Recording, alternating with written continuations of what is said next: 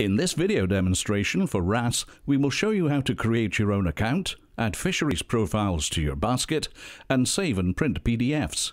Don't worry, you don't have to pay for this service. By registering an account, you can save searches and the contents of your basket. To create your own account, click on the Login button in the header. Then, click Register. Enter your details, then click the blue Register button to finally set up your account. You can manage your account details here.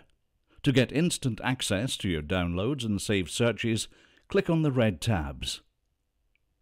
To get access to the search feature, go to the menu button in the header and select Home from the list. We will now show you how to save and access a search. For example, if you search for langoustine and then search for fisheries with a stock risk score of 3 or lower, you can save this search by clicking on the Save this search button. You can view your saved searches by going to the menu button in the header and clicking on the My Saved Searches in the list. To view your search, click on the blue Run Search Again button. You can also remove your search. To regain access to the search feature, go to the menu button and click on Home in the list. We will now show you how to add profiles to your basket and save and print PDFs.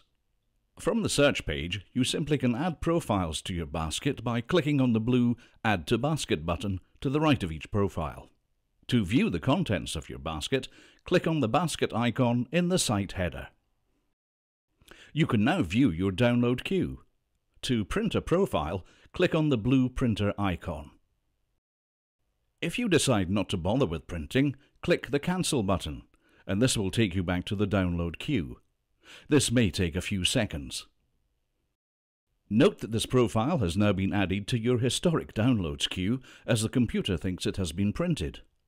To re-add the profile back to your download queue, click the Add to Download Queue button.